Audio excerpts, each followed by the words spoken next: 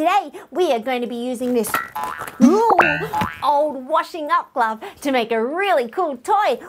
Come on.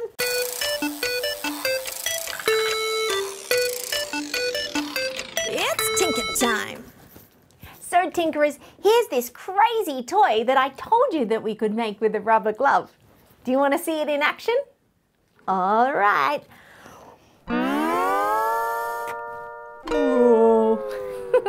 it's super simple. Let me show you how.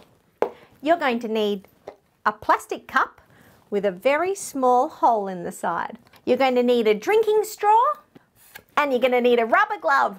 Ow! you're going to need some sticky tack or plasticine and some rubber bands.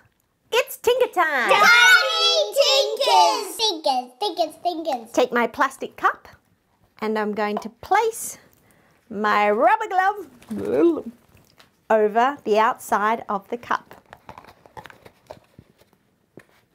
Just like that. Now to make it nice and tight around the edges, I'm going to use my rubber band so no air can escape from that cup. Get mum or dad to make a small hole in the side of your cup that you can fit through the drinking straw. In it goes. Now to seal that gap around the drinking straw, you need some sticky tack. And that way, no air is getting through that little crazy hole. Smush it in. And then you're ready to play.